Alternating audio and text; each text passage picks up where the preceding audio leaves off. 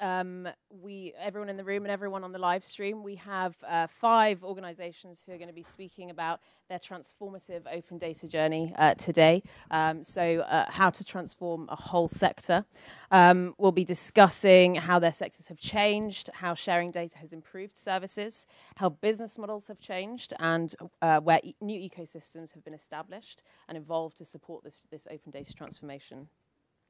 So we're hearing from representatives um, across many sectors. Um, they'll be doing flash talks. We'll have a bit of a Q&A after each um, speaker, and this will be followed by networking and some demonstrations that we have uh, outside. I'm just going to give you a bit of a rundown of some of the work that the Open Data Institute has been doing, um, including our research and development program. So this uh, is a three-year research um, and development program funded by Innovate UK. The aim is to help develop the next generation of public and private services um, and aim to support innovation, improve data infrastructure, and encourage ethical data sharing. So we're currently in the second year of the program, um, planning our final year next year. We're, we're focusing on, I'm going to read out a list, so be ready for this, um, because you can come and speak to us after if, if you want to discuss any of the topics that we're going through. Um, open data publishing, open standards, emerging tech, data access and trust, data and, re- and re-identification, international trade, open geospatial data infrastructure, and agent-based modelling. So again, speak to any of our ODI staff after this event if you're interested in any of those or want to collaborate with us. Some of our projects um, that we're working on on a more ad hoc basis. Um, so, working with the Lloyd's Register Foundation to champion the use of open data in engineering and safety, um, and using this as a platform to bring together key stakeholders to create a movement of open data champions who will collaborate to use data to improve safety around the world. With the Bill and Melinda Gates Foundation, we're helping to operationalize fair data principles in soil and agronomy investments um, in several regions across India, Ethiopia, and Rwanda. Um, in the aviation sector, uh, part of, of the Department for Transport, we're doing some work to explore um, what an open aviation sector would look like, um, focusing on the benefits of data sharing, key data infrastructure, stakeholder engagement, key outcomes, and challenges the sector is facing. We're also doing further work um, in transport with the Transport Systems Catapult. Um, we're, we're creating a, a, vision a vision for transport data report with them, looking at the barriers, challenges um, that the sector is facing, reviewing best practice, data sharing successes um, across the sector um, within the UK and globally. Um, and this will inform the UK transport sector open data journey. We're hoping to influence um, some kind of policy with that. Yeah, so uh, we're doing some some work uh, in Nepal and in Kosovo. So um, in Nepal, we're doing a train the trainer program, and this is um, to train up um, people to, to teach our open data in a day course. So upskilling data capability and engagement.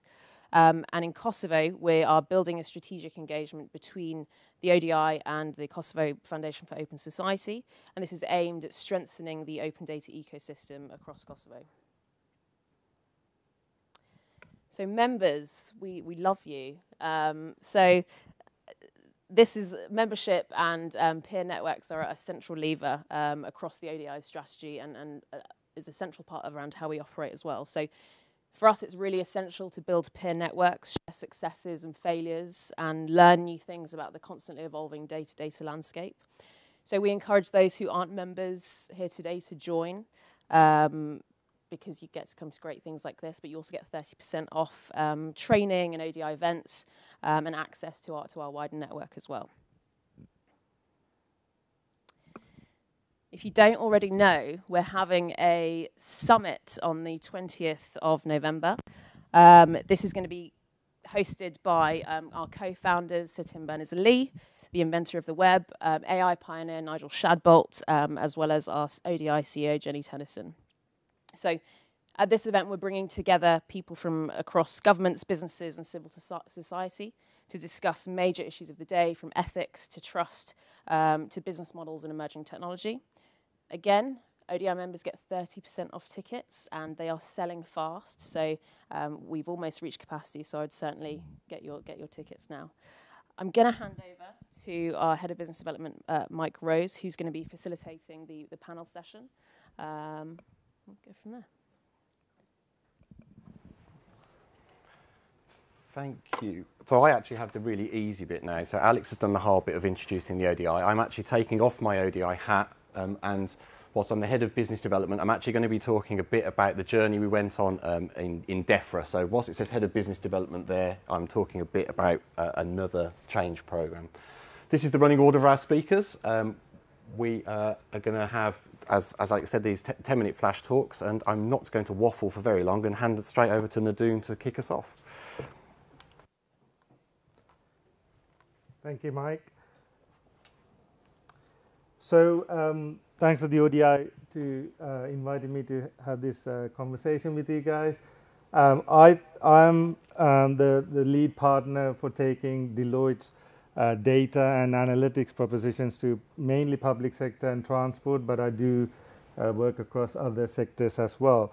The the the you know a lot of my colleagues will probably talk about uh, more about the transformation of, of, a sector, best practice, and all of that. But I, I thought I'll, I'll, share some of my experience and, and, and my observations from the last sort of five, you know, three to five years around. We all want to share data, um, especially if you're trying to transform an entire sector. So the context behind what I'm going to say is around uh, multi-organizational, cross-organizational data sharing as opposed to just one uh, large organization. But I think the principles are the same. But if you're actually trying to uh, transform an entire sector, cross organizational data sharing is critical. And we have been, you know, as, a, as, an in, as, as many industries, we have been trying to do this. We have, you know, most people have been successfully making steady progress for the, in the last sort of, you know, even 10 years, but mostly in the, the three to five years. Uh, so I thought I'll, I'll share some uh, observations around things that slows us down as opposed to the, the, the, the transformational aspects of it. Uh, but ha happy to take questions after my speech, but also at the end as well. So the first one is what, what we call datanomics. So we coined the, the term to, to describe the economics of sharing data. So um, I think this is one of the most important factors that uh, you know an enterprise or, or a, an industry should consider when when trying to do uh, data sharing. In in terms of open data with the ODI, we have been you know engaged in this type of conversation for a long time.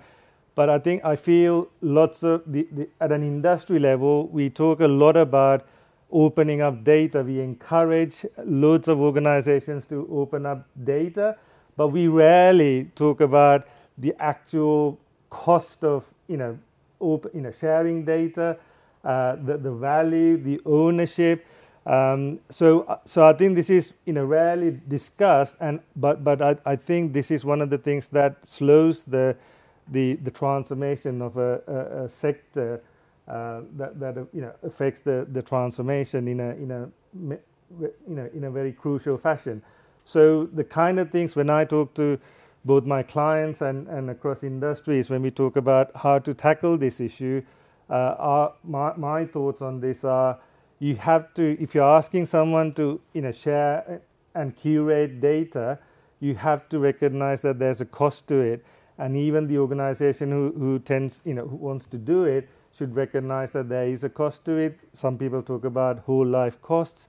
Um, but equally, when you know, when someone else trying, if, if you want to consume that open, whether it might be open or shared data, as you consume it, you, you must be able to put a, a value metric to it and say, this is worth this much for me. So therefore, hopefully, it, it, it should create uh, uh, an, you know, a value, you know, economic metric around what's the price or the cost of a, a unit of data, whatever that might be. I think if we think more more on those lines, people will be able to, uh, to do this much more effectively. More people will, uh, if you value the data, more people will uh, be able to, to pay for it. It, it. it, doesn't need to be hard currency, but it could be a, a system that where you know everyone who shares gets some credit and, and you can exchange different uh, units of credit to exchange data. So that's the key sort of concept behind this. Um, and, and I'd love to know your feedback as well as to what, how you guys have seen this happening in the market. But I think it's an area that needs more attention. and and people to to put you know think a little bit harder in terms of putting a value against the data you share and and the data you consume. The second area is an age-old topic. I think you know we, we talked about this as long as I've been working, uh, and, and, and people even before that as well.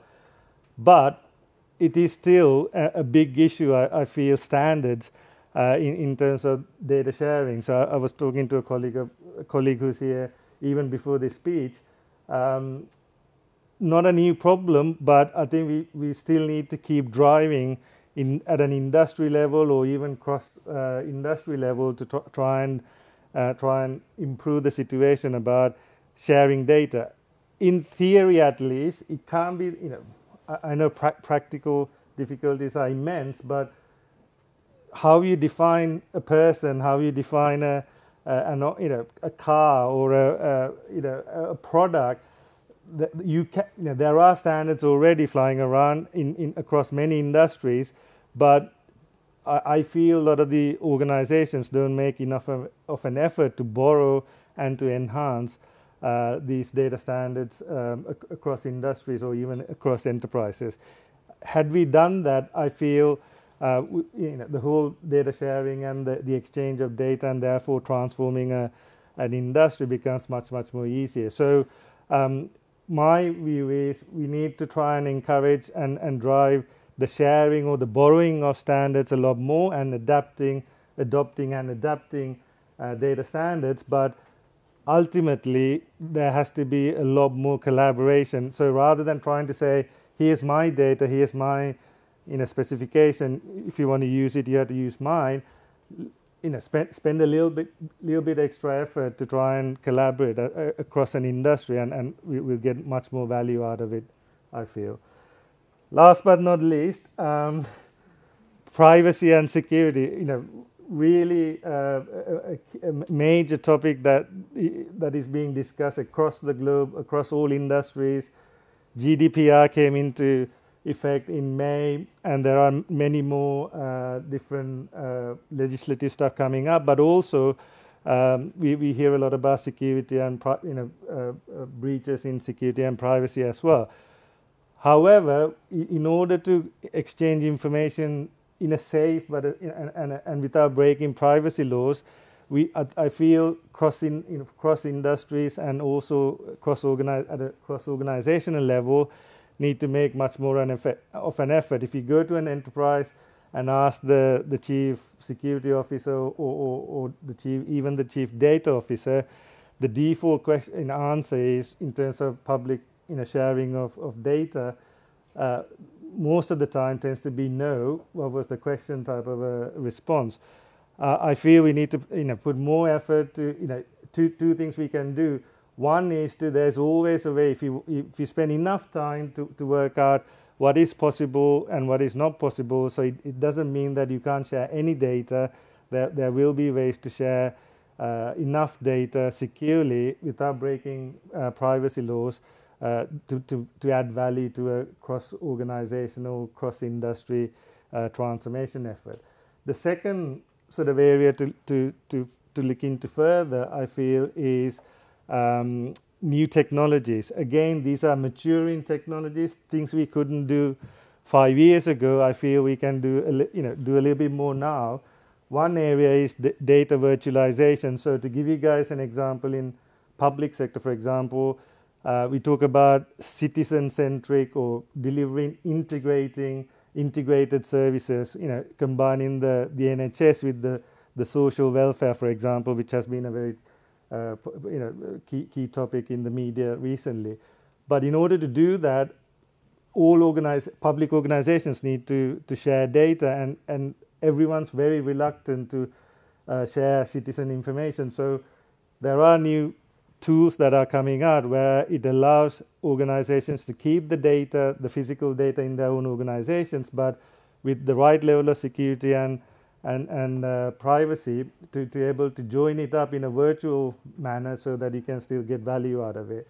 Uh, anonymization, obfuscation are the techniques that people talk about as well. So, all in all, my sort of proposition and, and request uh, for, for a cross organizational, cross industry sector is to to put more effort to think about some of this stuff and, and, and drive drive the the data sharing forward and, and thereby enabling uh, a, a, transformation of a, of a particular sector.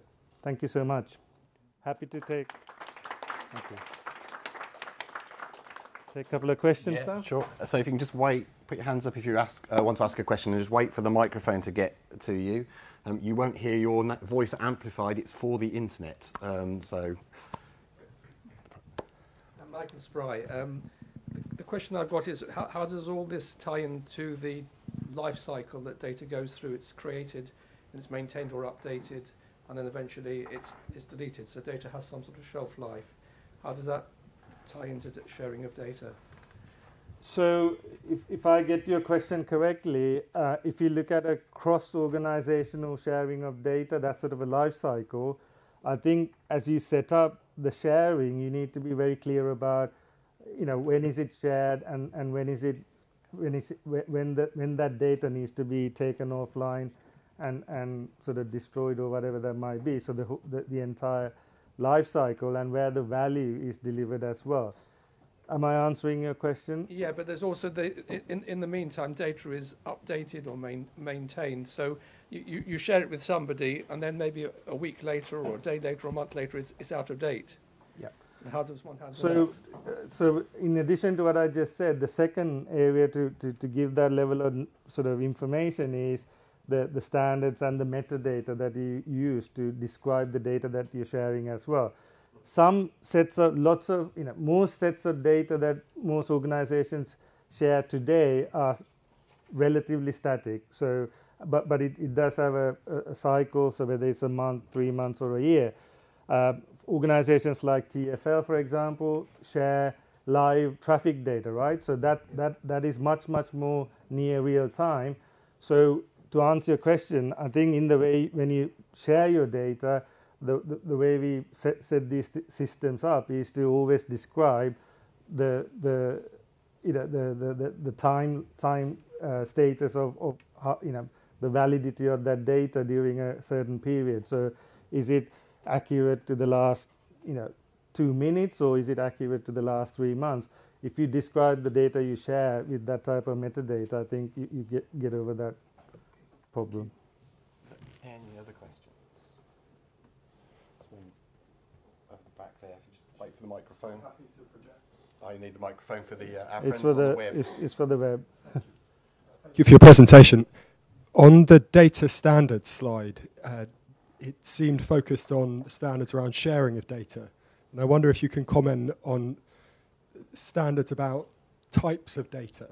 Uh, you've used the term metadata in your last answer. And I wonder if you think that the current way uh, data standards describe different types, say types of metadata, is sufficient? Um, can you give me an example of your definition of types of data? Um, well, I've come across a, a number of, of types. Often it, it's about the sort of domain usage. But I, I'm yet to come across really clear policy that presents taxons for types of data, types of user, and types of use so yeah, so I, I, think there are varying degrees or level of uh, level of sophistication in the way you develop your standards. So I think you know if you look at an industry, if there is no standard established at all, uh, the, the, evolution of it will be to first you know establish basic uh, definitions of you know how you, as I said before, how do you describe a a person, but you might not cover every piece of information that you're going to include about an individual. But you start somewhere, and then the evolution of that specification, if you want to call it, or, or for a standard, will evolve, and the level of sophistication of it's not just about one person, but then the, the relationship between one per, you know one individual and another. So your your your standard or your defi- you know specification will, will will grow over time so my sort of uh, view and my advice is start doing it in, in you know so plan for the future but start doing it in very basic steps until you uh, until the industry or the organization gain more maturity as you go forward great Thank you. So our time's up there. So can we just thank Nadoon once more? Thank you so much. Um, if you think of any other questions for Nadoon, there'll be a, a, short session at the end where you can ask questions of all, all of the speakers. Um,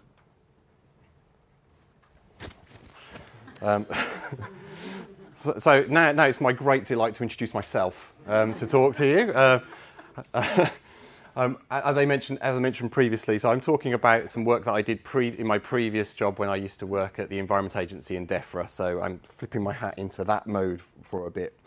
Um, and what I want to talk about is around um, carrots and sticks um, and how they apply to sector change.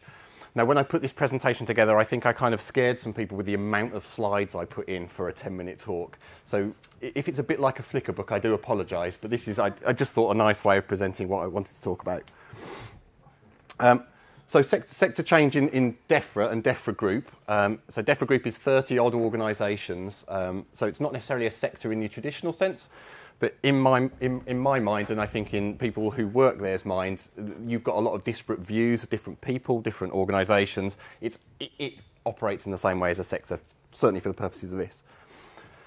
For me, it all started here.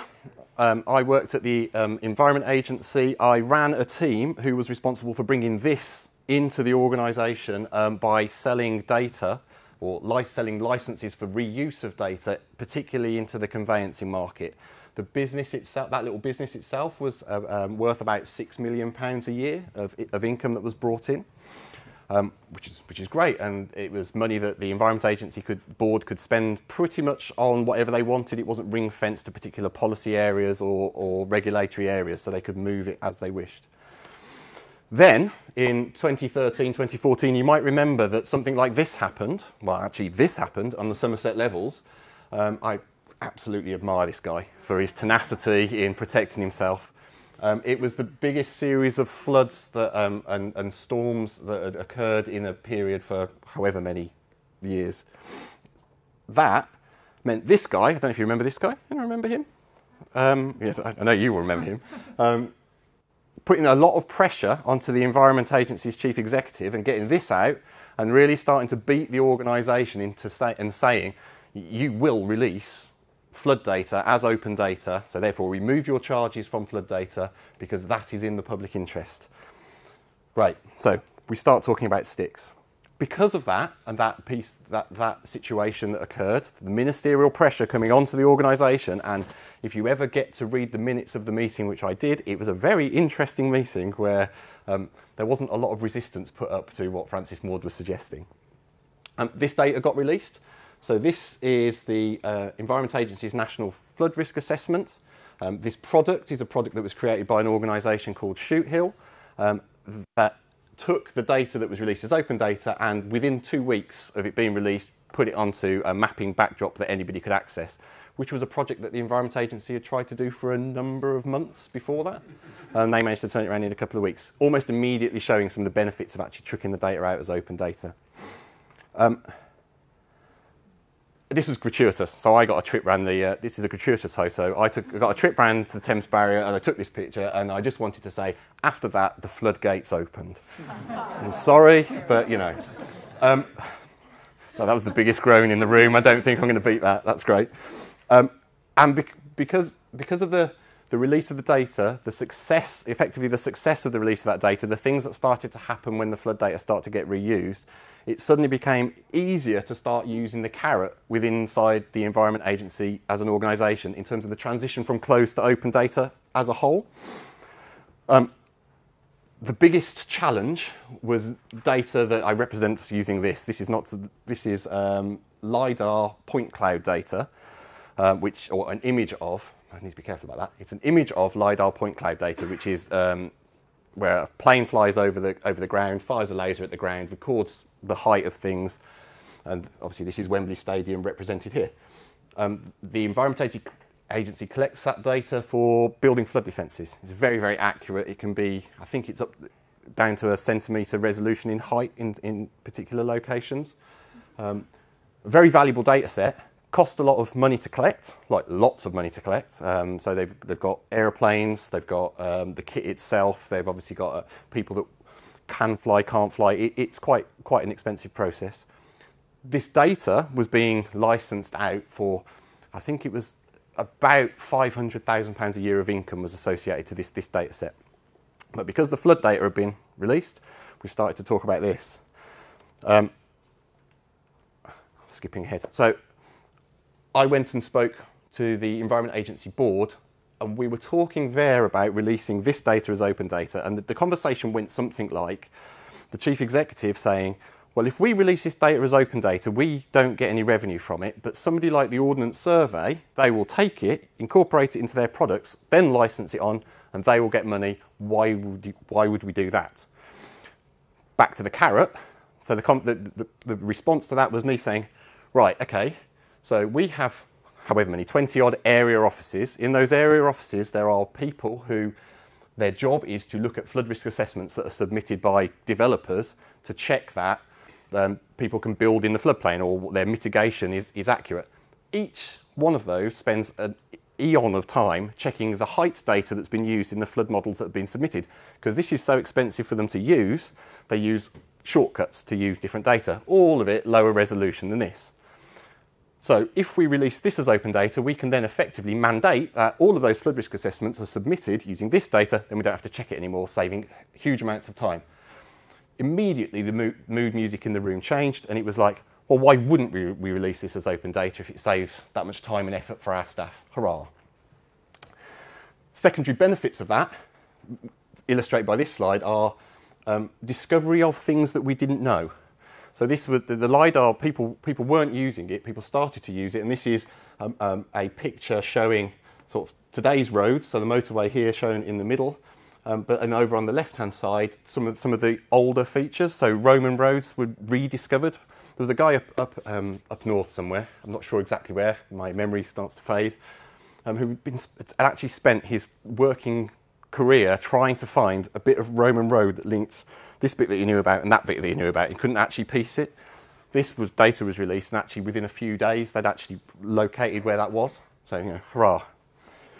Um, and obviously, the most important benefit was people could take the data and build cities in Minecraft and just import it straight in.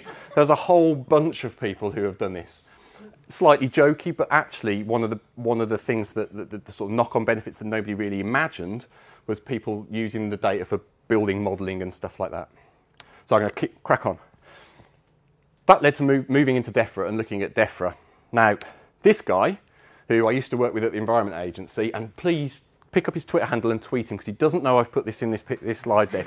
he starts getting a load of tweets. Um, so he persuaded her, who you might know, um, to say this just up the road in Shoreditch. Um, nobody in DEFRA knew that she was going to say this, apart from those two, pretty much, and the speechwriters. Um, I was sitting in the Environment Agency when this was said, um, and the panic was well, it wasn't really panic. It was like, well, I wonder how they're going to do that then before the, dawn, the dawn, dawning. Um, actually, it's us that are going to have to do this. Oh my God. I moved, into DEFRA to sort of lead that project to do that piece of work. Um, that was another stick. Liz Truss got a big stick out and just went, what she did was this. So this is the organisation, and she just put a load of pressure on the top of it. And it literally, within a matter of weeks, I've got two minutes left apparently, damn. Um, within a matter of weeks, the organisation started to um, sort of change, and ZAP teams came together across these 30 odd organisations to start really look at how the data got released. And in the end, we released 10,000 odd open data sets. Again, hurrah. Um, but we have a brilliant civil service. Why is the civil service in existence? It's there to insulate us from uh, uh, the political changes that we have between governments. So actually, it's really, really good at resisting change. It's really, really good at navigating us through change, which led to anyone um, the status quo being um, being moved back to. That was the second. That was another good groan. Um, the organisation, all the organisations, once the pressure of the stick went, or the, the beating of the stick went, went back to the model that they were working in before, and actually the data release was really slow. It kind of dried up. Everyone went back to their little islands working on their own. Um, so, what, whatever. What was this all about? Why am I talking about this, and what, what conclusions and things do I want to share? So, across the organisations, usually there's a bunch of people that get it and get what we're trying to do when we're changing the sector. In, in the, the group that I was working with in DEFRA, it was the geeks. So this is illustrative of geeks. So the geeks get it. Quite often, senior management don't. Um, and actually, there's a real trick there for, for building between the, between the geeks and the senior management and persuading one or two of these to really understand what the benefits of sharing more data within a sector could do. There's a tightrope to be walked, and that tightrope is one of um, the business model that you've currently got and what you're trying to achieve versus the new business models that could come from releasing more open data. And there's a real tension in there that needs to be navigated. You need one of these. You really do need one of these. Claire's telling me time's up, but I'm hosting, so I can carry on. um, um, and I've only got a few more of these, and I'm hoping for another groan. You need one of these to get people moving. You also need a carrot to actually persuade people to change. You probably need a carrot shaped stick or a stick shaped carrot. Um, but it's really important to remember that when you're trying to get organisations and individuals within a sector or within an organisation to change, everybody's different. The messages and the levers that you use will have to be adapted depending on who you're talking to and what's pressurising them and what's pushing them and what they're interested in. And actually, it starts with you. Expecting other people to change is one thing, but actually, we have to change as well. We change how we approach, we role model things, we start doing things differently, and, and actually, then change starts to follow that. Bizarrely, I had a, held a session like this with the senior, senior civil servants um, from DEFRA um, in Bristol and walked past an office, and this was painted on an office wall that, that evening. And I just loved it, so I thought, I will finish on that. You need a carrot and you need a stick. Thank you. So I, I suspect as I overran, I've probably got time for one or two questions, perhaps. Anyone? Or no questions? Even better. You can if you want.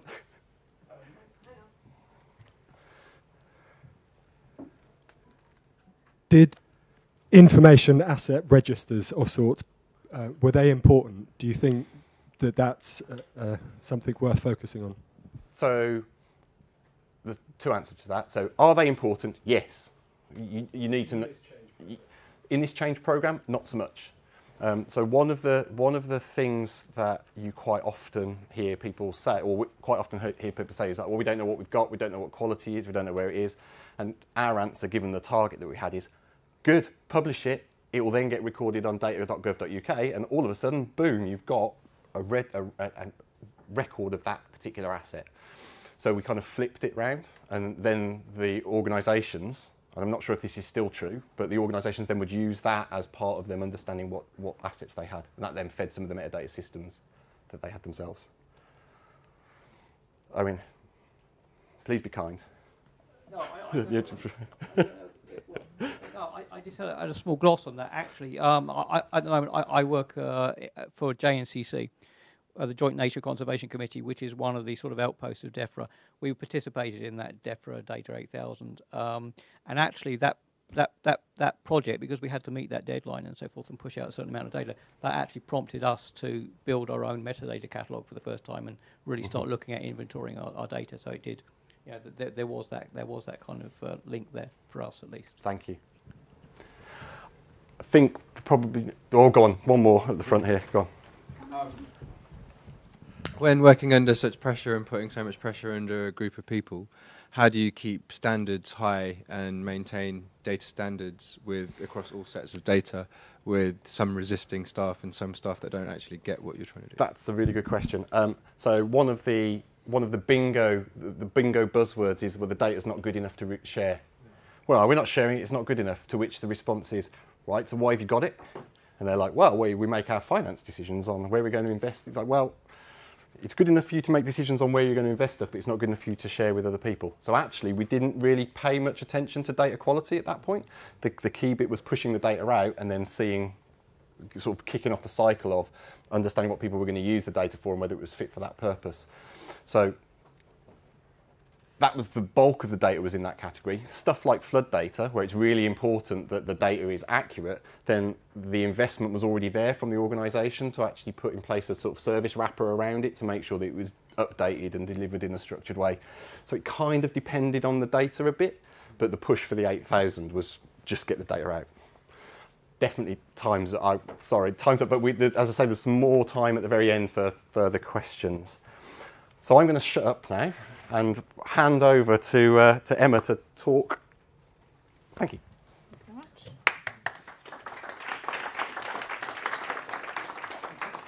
So thanks very much. Um, I'm Emma Boggis. I'm the Chief Executive of the Sport and Recreation Alliance, which is an umbrella body representing national governing bodies of sport and other sports organisations. Uh, and I'm delighted to come here to talk a little bit about um, Open Active, which is a programme uh, that I've been involved in and sit on an advisory group for. Uh, unlike um, uh, Mike, I'm going to have no slides, so uh, you'll get a complete contrast and just say a few words about both the what I've described as the. Oh, I've got one slide, which says me. There we go. um, and um, uh, I'm going to talk about what I've described as the what, the why, and the how of open data. So, what is it? Why are we doing it and how are we doing it, uh, sorry, of Open Active. And, and then I'm going to finish by just maybe highlighting some of the challenges and some of the issues that we're having to face in terms of implementing uh, the, the programme. So firstly, starting with the what. Well, what is Open uh, Active all about? It's about getting, sharing data, uh, using data to help get people more active. Um, when Sport England, who are the arm's length body that give out both Exchequer and National Lottery money to invest in grassroots sport, published their new strategy in May 2016, they included a statement which says we want to make it as easy to book a badminton court as it is a, uh, a restaurant. Um, at the moment, if I asked anybody here how, how you would book a restaurant for tonight or any date in the future, I suspect many of you would pull out your phone, you would go to Open Table or Book a Table, or there are other, other out, apps out there, uh, but something like that. Um, and within, within seconds, you could be booking a restaurant literally probably in any, anywhere in the world for any time in the future.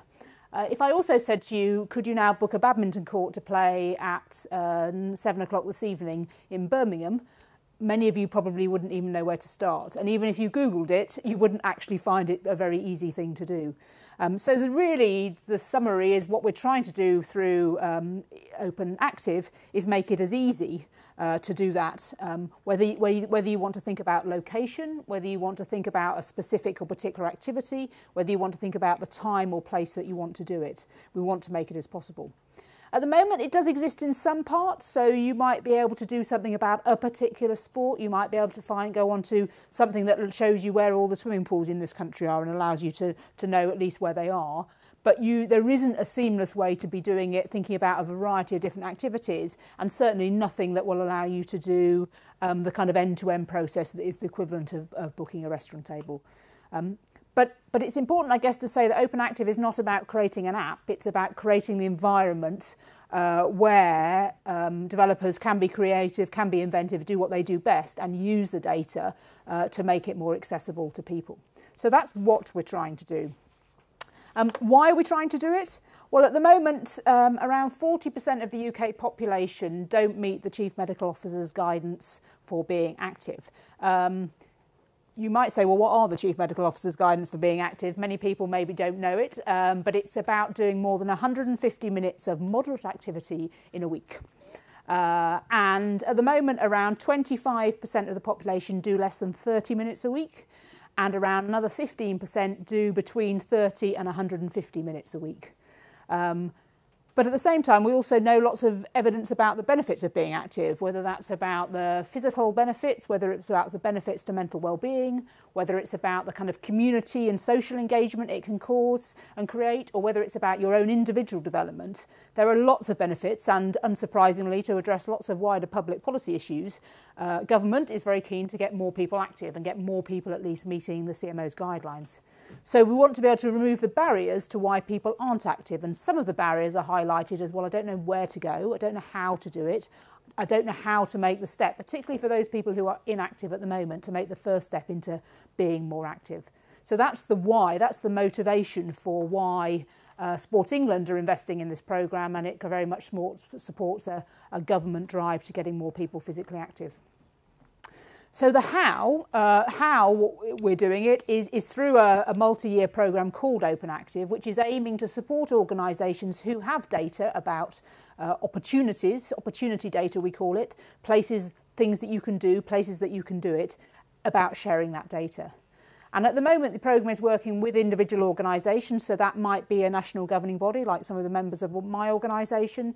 It might be a, a leisure trust. It might be somebody who manages uh, many leisure trusts around the country who have got data, have got information about activities, where they're taking place, how much they cost, what time they're run, what level of activity they are, etc., and sharing it.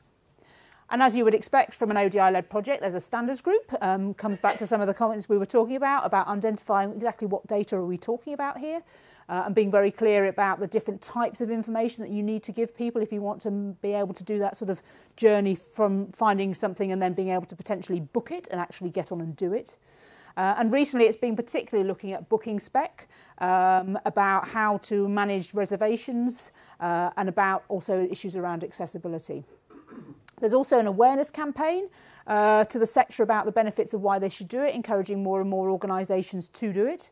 Uh, and the program's also included running, running an accelerator with a number of startups who are actually starting to use the first bits of open data in this area and thinking about creative. And I think later on there's an opportunity to see at least one of those uh, in action. And at the moment, we're in the final month of that accelerator program, and the focus on being, has been connecting on connecting the startups with mentors, potential investors, and helping to get pilots underway. I'm going to finish by just saying a little bit about some of the challenges. I'm going to highlight four, and some of them come up the topics that you've heard already this afternoon. The first one is around GDPR. So the Open Active project has been going for a couple of years now, but it was, I suppose, really late last year, start, early start of this year, where there's a, a lot of emphasis about raising awareness within the sector, getting organisations to think about it. And although it's nothing to do with sharing personal data, if you are a small uh, national governing body of sport, you, in some cases, you may have a few paid staff, you may have no paid staff. Uh, actually, your level of understanding and expertise around data probably at the moment is quite low. So on the one hand, people are being bombarded with messages about do not share personal data, make sure you're going to be GDPR compliant. And the next thing they're being told, open up your data, give it to anybody. And uh, I'm sure many people in the room will say, well, those, those two things were completely different. But if you're a layperson, you would understand that actually at the time it was quite challenging to organisations, on the one hand, to be thinking about protecting their data, on the other hand, to be thinking about sharing it. And therefore, being very clear about what we were and weren't sharing was really an important issue. There was also a bit of scepticism about previous activity in this area. So, a number of years ago, there was a programme called SPOGO, which I think was, spent, was supposed to be short for Sport on the Go.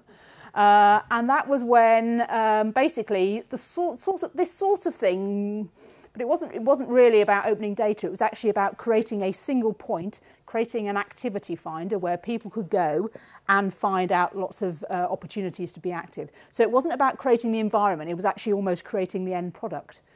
And because the product end product was being created by, frankly, somebody, an organisation that didn't really understand how to do data that well at that point, um, there was a, didn't really go anywhere. So lots of organisations invested heavily in the concept of SPOGO, and then it kind of fizzled out. So then when they were told, oh, now what you need to be getting behind now is open active and you need to be giving all your data here, there was perhaps understandably a little bit of reticence to think, well, is this going to go the same way as SPOGO? What's different about it? Why should we be prepared to invest in it this time where before perhaps it was, it was challenging? Um, the third area I think has been a bit of a concern is that generally um, investment in sport and physical activity, uh, as in lots of investment in public uh, sector areas, is going down. So lots of sports organisations which have been in receipt of public money have been increasingly encouraged to become more commercial. And one of the ways they've been doing that is by using their data uh, and using it to generate some revenue. Um, so it comes back to one of the points we heard earlier on that uh, then what we're saying to them is actually stop using this data to generate commercial income, start making it freely available, and actually getting them to understand that maybe doing that in the way that you might talked about. Well, on one hand, we seem to be losing something, but actually understanding the real value and the gain you're going to get from it. So convincing people of that logic, and that's still very much a kind of work in progress. And the last one I would highlight, I think, is completing priorities. It comes back to my point about many of these organisations, particularly in our membership, are quite small organisations, haven't got very much resource, and getting uh, CEOs engaged. So, in fact, just only a couple of weeks ago, Richard Norris, uh, who works on the programme here at ODI, was in, talking with chief execs of national governing bodies exactly to get them to do what was describing there, finding one or two champions at CEO level who can really drive it in an organisation, get them to buy into it, and be instilling in their teams why this is important. But there are lots, I think, as, as he heard on the day, it's very easy to say make this a strategic priority, but organisations are being told to make lots of things strategic priorities. So that's a challenge. But in summary, there are now 93 committed organisations, 26 organisations who are sharing their data, uh, just over 145,000 activities or opportunities uh, published every month, 216 people trained in data skills and 83 people contributing to the data standards. So there is a community building, there is some momentum behind this. I think the government at the moment probably think it's a bit slower than they'd like. They'd like a bit more progress, they'd like more data out there. Um, but it's definitely a progress, um, it's definitely made progress over the last couple of years and continues to grow. Um, and I'm very happy now to take any questions. Any questions?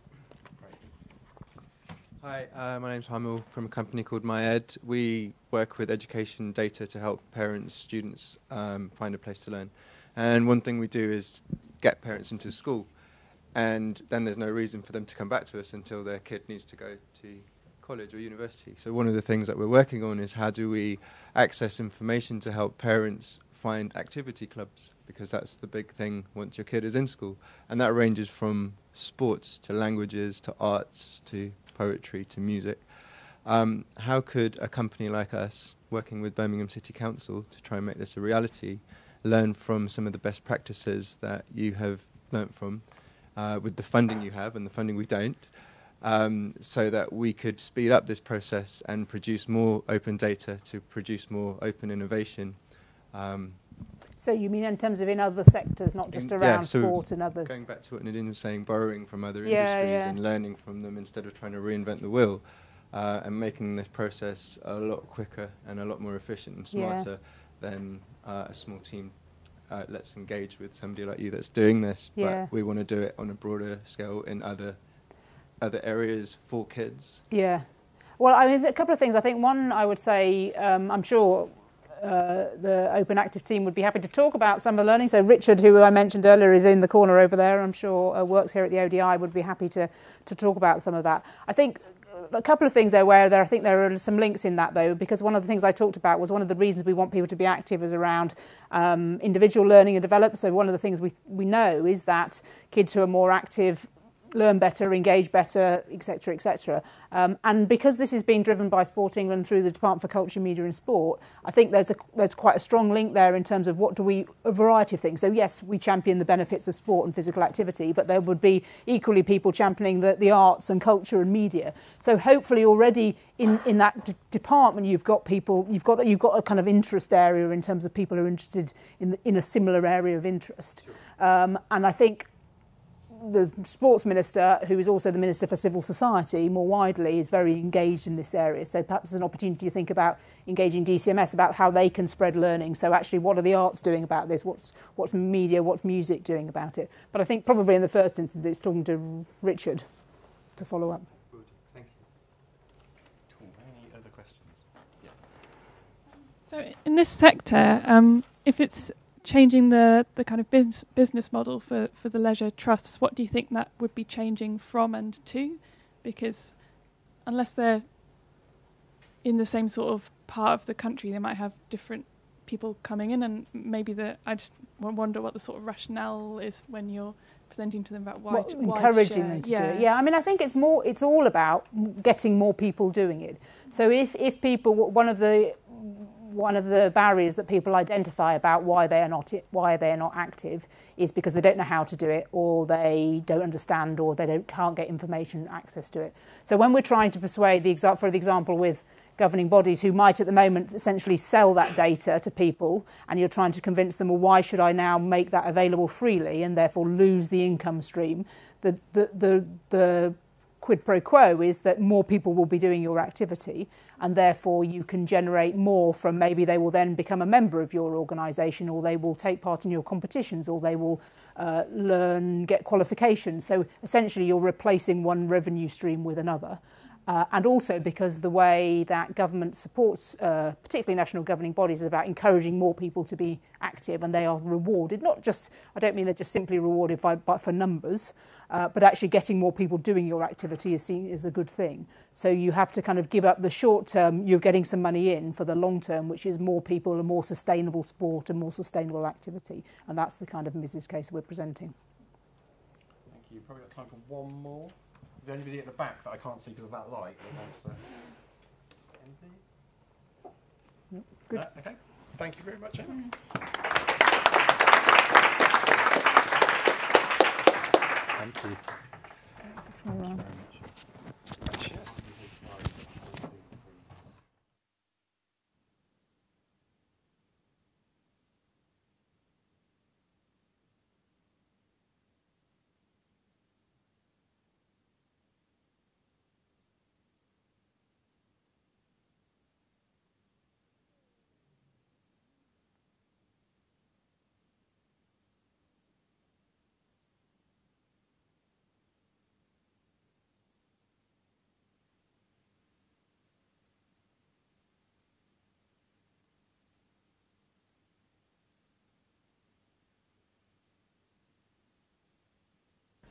There we go. So, hi. What have I done? You might be needing Need to press a few buttons. There we go. Press a few buttons. Maybe. There we go. Uh, that's me. Hi, I'm from Ofgem, which is the independent energy regulator in Great Britain. Um, thanks to ODI for opportunity to come and speak to you today. I'm here with a particular hat on. So within Ofgem, I own the My Data in Energy project. Uh, I'm very pleased to be working with the ODI, ODI on that challenge of how we start opening up access to data in the energy sector. Now, I think from looking quickly at who's, who's in the room, very, very few people from the energy sector, which is quite refreshing because that tends to be the sort of events I go to. Um, I think just perhaps a little bit of context on energy before we get into some of the more data specific bits. So, as a sector, energy is really on the cusp of a, a fundamental transformation, and that's driven by a number of factors. Uh, one is about new data coming online, particularly coming from things like smart meters, but also all kind of sensors around the system about what's happening uh, out there on the networks and things like that. Secondly, we've got a lot of new technology coming along, things like storage, electric vehicles, new ways of generating, uh, automating the home, all those kind of things. Um, and taken together, that's really leading the development of new new markets, new ways of transacting around energy, be it in, in local energy or peer-to-peer trading and all sorts of things. And there's a really massive prize there in terms of the innovation that, that those developments can drive. Um, partly in terms of driving down the cost of the en- energy system as a whole, and that feeding through to customers' bills, uh, customers being you. Um, similarly, supporting the decarbonisation of the energy sector, um, and also improving the security of supply as well, given the challenges for the system of having more renewable generation on and being able to be more flexible around that. So that's a bit of bit of the context. Um, that in itself is challenging the way in which we set up and, and run the, the energy market. So we ran a, a call for evidence earlier in the year asking about barriers to innovation in the particularly in the retail energy market. And it perhaps wasn't surprising when the num- number one issue that came back was around access to data. A lot of other issues as well around complexity of regulation and things like that, but data came through really, really strongly uh, as, a, as a barrier in that sort of space. Similarly, we've heard about GDPR. Obviously, that's come in this year. That gives customers rights towards their data. In energy, that's there's no real practical way for people to get hold of their data. I think you can go to your supplier and ask for it, and they might send you a memory stick or something like that, um, not necessarily in a particular format. So uh, there's also a challenge there in terms of how we um, really bring to life some of those those rights for consumers in terms of their, their data. Um, so I think you know, more broadly we see that data access and portability and the quality of that data is really a key driver of the sort of innovation that we, we want and need to see in, in energy. Um, and that's been very much the, the aim of the government's My Data initiative. You may be familiar with it. I think it's been around for quite a long time. Uh, it's gone through a number of iterations in that time, so uh, things like quick read codes um, something the government mandated for, for energy suppliers a number of years ago. Um, but in its modern iteration is now uh, very much similar in concept to open banking. So I know some of you will be uh, very familiar with that. Um, so, here we go, we'll give it a slide. Uh, what we've done is set up a, a cross-governmental project, uh, a number of different bits of, of government that we're working with, and Ofgem's leading that project to really bring this thing that we've talked about for quite a long time to, to fruition. And what my data is really about uh, is enabling where a consumer wants to share their, their data with, with a third party, uh, a way for that to happen in an automated and instantaneous way by their supplier that holds that data to that, to that third party, obviously uh, with the appropriate consent and verification of the, the customer there. Um, in its initial form, the, the, the sort of primary use case is very much around helping people to uh, compare tariffs and, and switch supplier. Um, and uh, whilst that's not necessarily particularly useful, oh, sorry, useful, interesting, it is useful, um, exciting in terms of novelty. We, have had price comparison websites for a long time. Um, you just need to go and talk to some of them and understand a little bit about the consumer journey that um, that users go on, particularly when they go to their websites. And it's fascinating to see graphs of, of where people drop out of the process. They kind of, you know, put your name in, fine, people can manage that. Who are you with? Ooh, people aren't necessarily so sure. And it gets through to things like, how much do you consume a year? And suddenly, you know, massive dropouts because you know, people don't know or they don't know where their bills are, all those sort of things. And the potential for that data just, you know, tick a box, boom, that's instantaneously in there.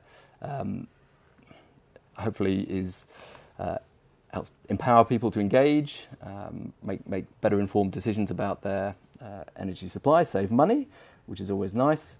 Um, we know we've got a relatively long standing issue around competition in the energy sector, particularly with consumers who, for whatever reason, don't engage, getting, getting worse deals. So, this is a way of um, helping more people to engage and helping that drive competition. And then perhaps more exciting, uh, looking ahead, is the way in which this data could be linked with other data sets. Um, for example, people's granular consumption data coming out of smart metering or different bits of uh, data about what's happening on the, the local networks or things like that to develop new services um, that could really add value.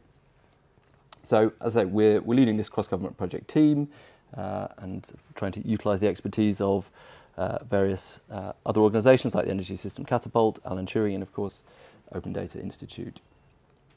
Now we are uh, trying to deliver this through a really open policy making approach, so being completely transparent about the development process, really keen that this isn't just something we go away in a room and, and design a new data standard and unveil that on the market.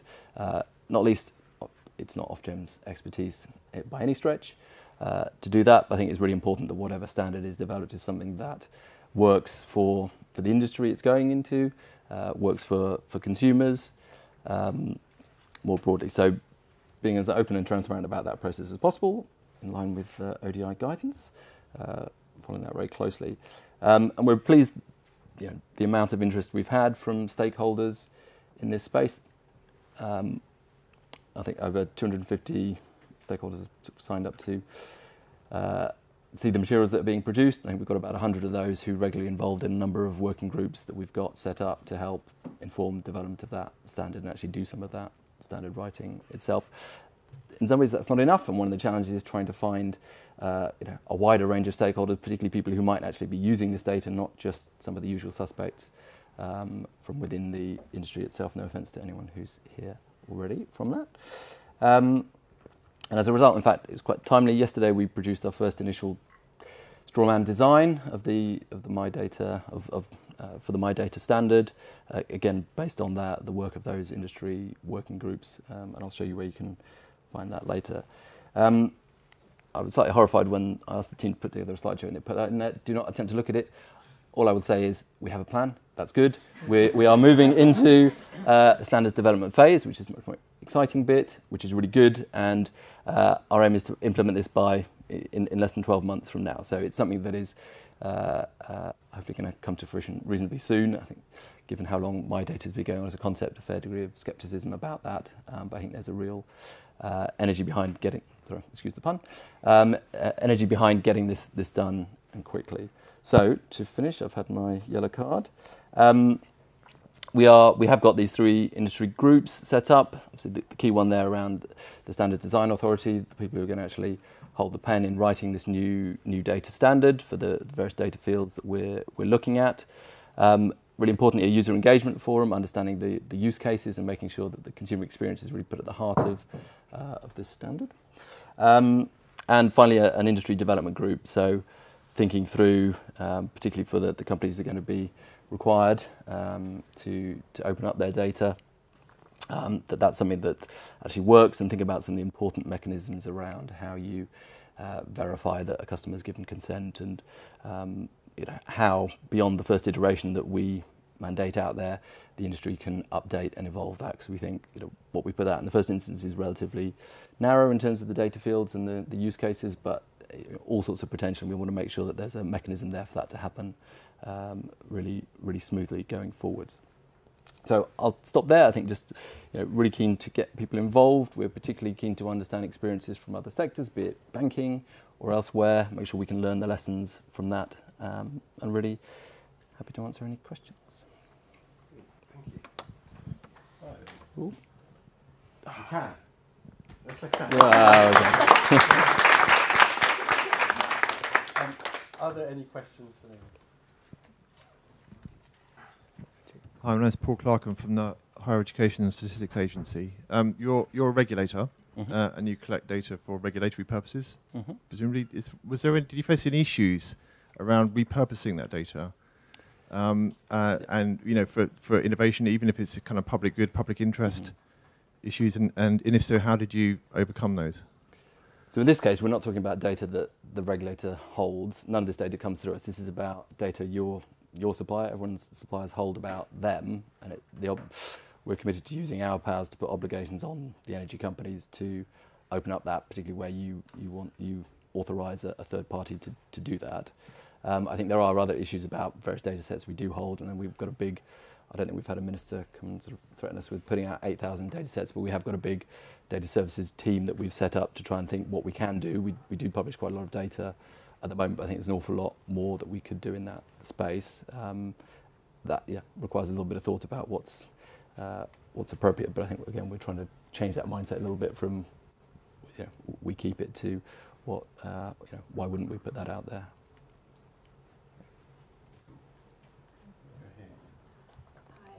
Um, I work for Elexon, which is in the energy industry. So a lot of the data formats in the energy industry at the moment are quite archaic, Mhm. and they cost a lot of money to access and use, which can be a barrier to entry for new suppliers. Um, where do you see the sort of the standard of that data that's already transferred within the industry going? Mhm. So I think it's one of, one of the challenges with what we're doing is quite a lot of the data, a lot of data is held with suppliers, but there are obviously various central industry bodies like yourselves and others that have a lot of data as well. And I understand quite a few of those are considering how to open up access to that data more broadly. But we do have, yeah, quite a lot of uh, different data sets out there, and it's going to be a challenge to make sure that what, what we're doing in this space uh, is capable of being joined up and integrated. I mean, perhaps you're also alluding to the fact that the quality of data in the energy sector is also pretty shocking. Midata itself isn't going to directly affect that. We're not sort of putting obligations on companies to go out there and cleanse stuff, but I think just the general sense that actually making it available will increase the incentives on companies to make sure that that data is available. Clearly, if, if someone, a customer asks you to share their data and half the data fields are empty, that's going to prompt you as a company to think, actually, I better be going away and trying to fulfill those. Um, I think there is a broader question. I think there's a lot of different ways consumers can get data in the energy sector. Smart metering will, you know, have one particular way for doing that. Customers can have their own um, access devices in the home that feed off the smart meter and, and can get the data out. Obviously, you can get data through your supplier. So we're going to be thinking about that ecosystem and how those things fit together, so we don't end up duplicating in that space. Um, but. Hi. Uh, just referring to the education sector at the moment, uh, we're trying to collect information from schools and there's no compliancy.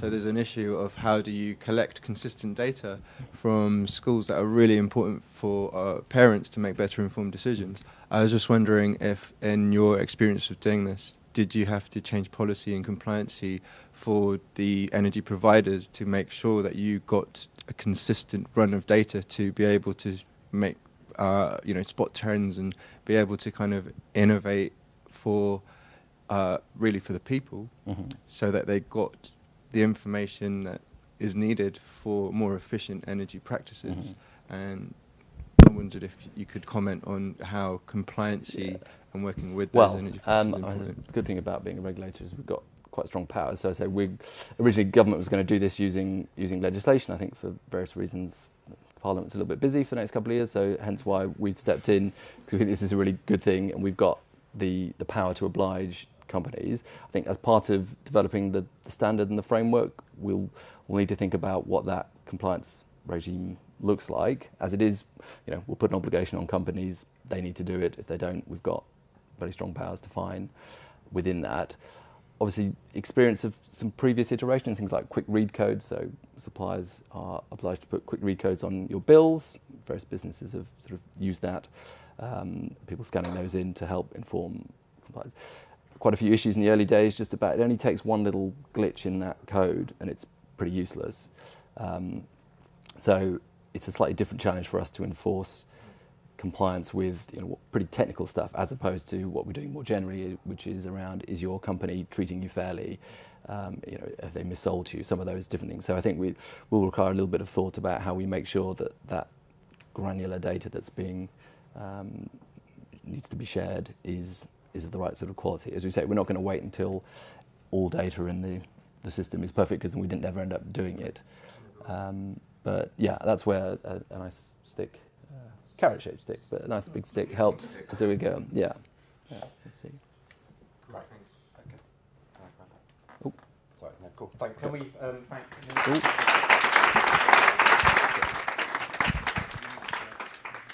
So I got told off for not using a microphone because I'm not mic'd up anymore. Right. So um, time for our final speaker. Um, it's getting warm in the room. There are beers outside soon. So um, let's keep keep our attention for the next sort of 10 or 15 minutes. Um, and I'll hand over to Nina. Okay. All right. I will try and um, get through this as painlessly as possible so everyone can enjoy a drink. Um, all right. So I'm going to go ahead and talk you through the story of Bud. Um, and you're probably thinking, I thought we were talking about open banking. I promise you, though, the story of Bud is also the story of open banking. Um, so here we go. Our mission. Um, what we do is bu- at Bud, and what we think of ourselves as, is the financial network. And ultimately, what we want to do is make sure that every person has a healthier relationship with their finances. Um, I'm a millennial. I have a terrible relationship with my finance, and we were kind of founded on the idea of no one really knows what they're doing with their money. Um, that being said, what is Bud? So, we are a fintech. As you can tell, I don't work for a bank, I work for a fintech. Um, I could not get away with this at a bank. But um, we license our platform, our technology platform, to various financial institutions, mainly banks. And what we have is a layer that sits in between the bank and a host of third party providers underneath. So, this is my favorite little illustration of what it is that we're doing. We're kind of building a sandwich there, bringing together all this data, financial data, to ultimately help each customer better understand their financial lives. That is built on three key pillars. So, the first thing is account aggregation. Um, actually, maybe I'll stop for a second. How many of you have heard of open banking? Okay, quick show of hands. Yeah, somewhere, hopefully not the Daily Mail, um, preferably in the Telegraph or City AM. Okay, so we've got a fairly informed audience. Um, so, account aggregation. So, this year, January 13, 2018, it was mandated that the CMA 9 would have to release open banking APIs, which basically just means that you should be able to see all of your transactional history in any other third party if you grant that access. So GDPR, PSD2, perfect storm meeting. Um, so what we did was bring together all of the CMA9 open banking APIs, and where they weren't available, we screen scrape. Um, but what that means ultimately is now you suddenly see your entire financial life in one place. So if we think about the number of bank accounts that we have, the accounts that we log into, I mean, I'm American, um, so I've got a few bank accounts back home, got a few credit cards, I've got bank, two bank accounts here, a credit card here, a French bank account, an Austrian bank account, um, and I'm sure many of you as well, you have your current account, you have your joint account, you have another account, the secret account. Maybe. Um, who knows? No judgment. Um, you've got your mortgage, your savings, an investment account, your pensions. It just keeps adding up and adding up. And by the end of it, you realize you've been logging into 20 different places to figure out how much money do I have today. So what we did is we thought, bring it all together so it sits under one roof. And all of a sudden, you're like, wow, this is how much money I actually have. Amazing. So as you can see on that far left, we've got an American Express, um, Black American Express because I'm just rolling in money. Um, NatWest, Barclays, um, and then we've even got Wealthify, which is um, a robo advisor. And so we've got an ISA there, um, and you can add anyone under the sun. The second pillar is insights. So this is where the data kicks in. We've pulled together all these accounts. We have all this transactional data. And what does that mean ultimately? We have a 360 degree view of every single customer that we are working with. And now we're able to trend and anonymize GDPR compliant all of the data that we're receiving.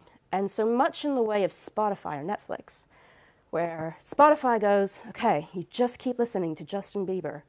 You must like Justin Bieber. We're going to present you with other things. I don't actually know what is similar to Justin Bieber anymore. Um, different example. You love the Beatles, so we're going to present something else that's like the Beatles. Netflix. We're all binge watching these shows. You really like true crime. We're going to present you with more true crime documentaries, whatever. Similarly, we are creating a persona about each customer. People like you like products like this. People in your income bracket, people in your postcode are like this, using products like this. So what we've done is we've created a number of data enrichment suites which help us get a better idea of just what you're spending, where you're spending, how often you're spending, um, how much is incoming, how much is outgoing. It's a little bit creepy actually, but we actually learn a lot about each customer, which leads us to the marketplace. So we have about 80 partners, which range from insurance to mortgages, savings, pensions, utilities, um, credit cards, loans, anything under the financial sun, which means that in due course, we can recommend the right product or service at the right time that is most relevant to you. Um, I had this example a few weeks ago, wanted to apply for a loan. Went to Zopa, um, which is a peer to peer lending service. And it I, could be that my credit score was awful, but um, it turns out I don't have enough history, living history in the US, or sorry, in the UK for the past three years. And so I was automatically declined that's really frustrating. And you're filling out just pages. I mean, it's that long, that form. You're just filling out pages and pages of forms only to get rejected. That wasn't relevant to me, and quite frankly, it was really frustrating. So if we could strip that away and only serve things that you might very likely be accepted for, then that makes things better for you. So, how do we do it? APIs, application programming interfaces. So these are kind of what we think of as the glue and the future of financial services, really. Um, what we've done here, Wealthify, also another investment fund or investment product, um, which is partially owned by Aviva. They were our first API integration. And so what we did is we integrated them into Bud. And so if you had an account with Wealthify, you could suddenly see the value of your ISA right there in your app. And we actually saw that there was an uptick in the amount of engagement we got within the app that was live. So that's all well and good.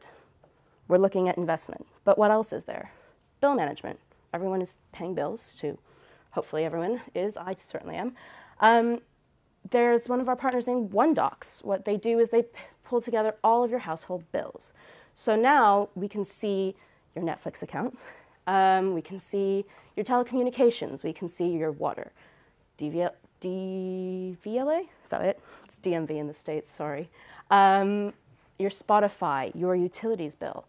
And what that means is we get even more data, which means that we're able to put it to use for you. So, this is one of my favorite examples, and it really ties into what Neil was speaking about earlier in terms of energy and switching, and how switching is a little bit boring. But the thing about switching is not many people know that they can do it. Um, I certainly didn't. So there are a ton of kind of new businesses cropping up, like Flipper, who switch your utilities for you. But could you imagine if we spot your utilities bill coming in each month, and we go, "Can you just confirm that this is your utility bill?" Yes, and we go, "Okay, based on your postcode, you are paying 30% more than everyone else. Would you like to switch your utilities?" Great. Okay, that sounds amazing. So we introduce you with, to Flipper. Flipper switches your utilities for you. Um, we go, we have your name, address, your postcode. So we've actually shortened the entire process down to a few screens. So all you need to confirm is the number of bedrooms that you have in your, your flat or your home. And all of a sudden, we can present you with this. You can have your utility switch. But that's not where it ends, actually. We can move even further and say, you've saved 300 pounds a year on your utilities do you want to open an investment account with one of our partners? And all of a sudden, we have this life experience going on. So it's not just about financial services, it's about your life. Um, I don't have any screens for it, but um, recently there was a bill introduced uh, called the Credit Worthiness Bill by Lord Bird. And that's something that we've been working on with HM Treasury um, for the Rental Recognition Challenge. So much like here, we are identifying your utility bills, we can identify your rent. And then we can work with credit scoring agencies and say, this person is paying their rent every single month, but they're not receiving anything for it. You're just, you know, it's going away and nothing happens. What if you could use your rental payments to build your credit history? You now have a paper trail. I am a creditworthy person. I'm paying my rent every month. Then we can conceivably say, okay, you've got this 300 pounds that you've saved. Why don't you put into a savings account or an investment account? We can start building you towards building up that down payment. So you've got both things going up one time. You've got the investment or savings for that down payment, and you also are building your credit history. All those things converge, and we are able to build a lifelong journey to help someone purchase a house at the end of the day. So, what we're doing at Bud is not so much distributing financial services. Distributing financial services, we can get anywhere, right? There's plenty of price comparison websites.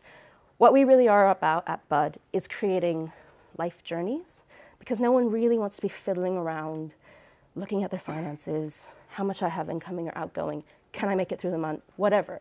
What they want to do is own a home. They want to get married. They want to retire. So, how can we help them do that? Unleashing all of this data that we now have. Um, speaking to Mike's point earlier about the carrot and the stick. So we kind of had a little bit of both. Um, just as he said, you need carrot sticks. Um, PSD2 was the legislation that was brought forward in the European Commission, and that mandated that we need to open up this data. Um, that is enforced here with the CMA 9 with the CMA. Um, but we needed that initial kind of stick to say, you're doing this now. Um, what would be really interesting to see for me personally is in the future in other markets in the US and Australia, whether they will be mandated to do it or if they'll do it on their own. Um, they're on their journey just like much of us, most of us here in this room are. So, um, in a nutshell, that's Bud. And that's what we're doing to revolutionize the banking.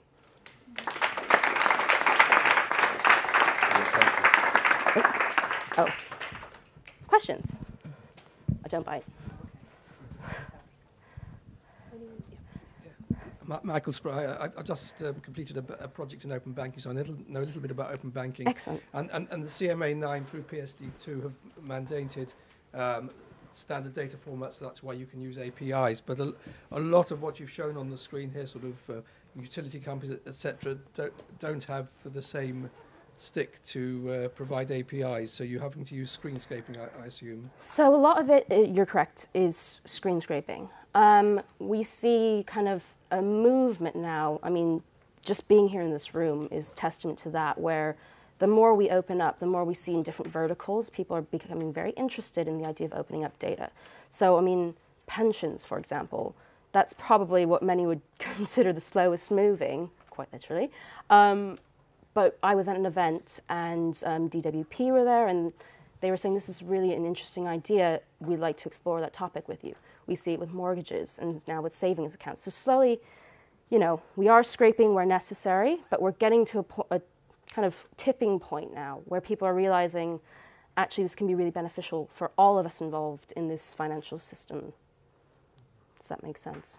Do, do you see that legislation is necessary in order to uh, give the give the impetus to uh, pr- provide APIs? I think, a personal opinion, um, in financial services, it's a highly regulated industry. So, in that case, it was necessary to have that quite large stick coming down with PSD2. With um, other verticals, that might not be the case. Um, in other industries, it might not be the case. Um, but for us, I think it was necessary, but everyone else is kind of getting on board now. Um, yeah, that's the short answer. We can we can have a chat over it later. Thank you. Thank you. Yeah. Yes, there. Just a lady here. Hello, just uh, wondered if you'd thought of um, working with any organisations running uh, universal basic income trials, for example, in Scotland. That would be really interesting. Yeah, um, that actually would be very interesting. Um, I was at an event yesterday and I met a woman that is working on financial inclusion, so it's definitely something that we are exploring. Um, right now, I mean, what we're doing with the Rental Recognition Challenge is kind of that's the first step. Um, but I think as we grow as a business, we are a startup, so we're about 50. Um, but as we grow, our hope is to be able to actually kind of spread our tentacles and get into financially including everybody and financial literacy, moreover. One more. This way. Sean McGuire from Legend Club Management Systems. We're a software vendor and uh, very pleased to be working on the OpenActive project, Hmm. actually. However, um, uh, during the course of today, there were quite a few references to, in the context of open data, what I like to think of as three separate things the open data, the static data that doesn't include personal information, Mhm. then personal information, and then to a certain extent, open systems. And there's a blurry line in the open data reference within that. But your business, Bud, is enormously inspirational, and our sector has yet to experience such a, a business, and we're hopeful that open data will result in such a thing. Mhm. But in the meantime, the business model is very dependent upon uh, legislation, and in particular, what's going to happen with privacy. Yes. And the likes of what's happening with Facebook uh, and others will have a bearing on your business. Mhm. So it's interesting to me to consider that and to think about what in particular might be of concern for you because you're clearly uh, an inherent part of your business model is to take information from the different systems that is actually personal information. And a lot of these apps, in the fine print, deep, deep down in the apps, Mhm. often impossible to retrieve or impossible to not use the app without, Mhm. have this uh, implicit I've opted in to sharing my data. The caveat, What if that was changed? So uh, you're completely right. Privacy, i especially when it comes to your financial life, is uh, paramount. And for us, actually, I mean, within our business, we've been working with the regulators since day one. And, you know, besides a deluge of, of emails, May 20th for GDPR, you know, do you opt in or out? We, we kind of saw it as a blessing, actually, um, because there's multiple things involved, um, but most importantly, consent. And yes, there is kind of, we could just slide it there and kind of say, oh, don't look at this, you know, we're going to go and sell all your data somewhere. Um, but interestingly enough, with regulation, there are mandated now um, bits where the actual user interface, the user experience, has to involve roadblocks of consent. Um, and as I said, we, we've been working with the regulator. We've been in the FCA sandbox twice now. It's something that we are very, very careful of and moving forward, um, highly aware of what's going on with Facebook and especially Facebook, but anyone else. Um, there is, you know, that responsibility to make sure that we keep everything secure. We are GDPR compliant, but also the way that um, our chief information infrastructure and security officer has set everything up is part of how we went about doing that. And that's actually part of the reason why banks will work with us because for us, the security and the privacy is of the utmost importance. Great. Thank you. So, can we just thank Nina once more? Right. So we're running towards the end. Um, so what I wanted to do now is just give an opportunity. If, if, there's any other questions that you've thought about for any of the panelists, if you want to ask them now, we might do a rogues gallery standing up at the front. We might just stand up. We'll see who the question's for. Um, so we're just going to do this for a couple of minutes. So is, is there any sort of final questions that you want to ask? Yes. If you can say who it's for as well, we might then jump up. But we do need to do a bit of microphone dancing for the same for, for the whole for the whole group. And it's kind of building on the previous question. Beyond mandating and legislation, how do we reassure the general public that when they share data with a specific organisation, and it, and if that data is going to be shared, how that it's not being used or misused? More importantly, is a real there's a real question around public trust, and people nowadays just click everything. yes, yes, yes, yes, it's fine but how, but it takes one scandal too many one to really kind of break down that system of trust that kind of will undermine the whole sector.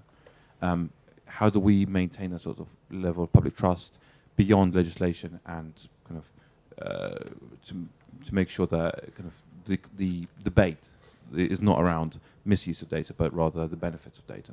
Mm-hmm. Yeah, of course. So you're still mic'd, so if you, want, oh, want to jump up. Yeah. Um, so for us, it's it, very relevant. And the reason I made a joke earlier, um, there's quite a bit of scaremongering in the media around open banking and the banks are coming to steal all of your data and what are they going to do with it.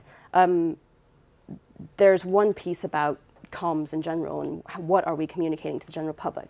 But actually, um, in my opinion, at the end of the day, um, it's not so much that customers are concerned with open banking or open data. What they're more concerned about is what is the value exchange that I'm getting? Oh, should I into the spotlight? Um, what am I getting in exchange for it? If if I am actually able to save money on my utilities, if you're still more, sorry. Never been spotlight shy. All of a sudden, I am. Um, if they're able to get something out of it in exchange, I mean, think about it. When you're at the airport and you hand over all of your personal data because you want what? Wi Fi. Right. If you think that's a fair value exchange, that's great. Um, ultimately, go, it'll be up to the customer. And if we're able to do some of these journeys that I kind of showed you just here, then we feel that it is a, a fair value exchange. Um, and we just need to continue to give customers that value to build that trust and hopefully not break it. So my view, just picking up on that, the question is around clarity. So the words, the, the, the stuff's buried down in the bottoms of the terms and conditions, and sometimes you might get to it, you probably don't read it, you just click through. I think there are examples um, of where the, the permissions that you give or the permissions that you take are really clear and communicated well. I think there's a there's a huge piece of work there to actually work on making it really clear what you're signing up to when you click that box. Um, it has been in the interests, in my view, of companies to be slightly opaque. Um, I think that things will change, and it's that's that's the real the real shift will be that. Any, anybody else want to? Any other questions? Yeah. Just really following up from the previous question, um, when I, I, give consent, I might give consent to a company to use the, my data for their particular needs. But in the example of, of Bud, you are sharing that data then with a multiplicity of third parties. So h- how do I control which third parties you can share that data with and which, which you can't? Consent. Um, sh- should I get back? Okay, sorry. Sorry, okay. So, um, like I said before, with the user flows, um, again, it comes down to regulation and, and mandates. In our industry, there are mandates. There is regulation that states that we do need to present you with the fact that we are going to share exactly these pieces of information. Um, I'd be happy to show you what that looks like um, later, but there are actual roadblocks that say, do you consent to sharing your name, your address, your date of birth with this third party, and then moving that forward. Um, I, I can't really speak to industries where it's not regulated, though, and perhaps you could. Anyone else? Yeah, I mean, I think it's maybe a little bit different in the OpenActive space because it's not about, at the moment, it's about the opportunity data. I think what will be really interesting around the booking stuff is what when you when you move beyond that. So at the moment, you are you, we are it is about the organisation sharing the opportunity, but we do want to have an integrated system where you can book, and then clearly you are getting into personal data. So, um, but I think it, yeah, it we've got to assume, haven't we, that individuals have a kind of you also have a responsibility. It's a bit like the point about the Wi-Fi at the airport. No one's compelling you to do that. You just decide you want to do it because that's something you're used, willing to have, and to some extent, that that, that, that kind of applies to a lot of these things. I think. Um, so just being very clear about that, I think, um, is the key bit. So I'm going to call time on our session there. So um, can we just thank everybody? Thank you, and I'll hand back to Alex.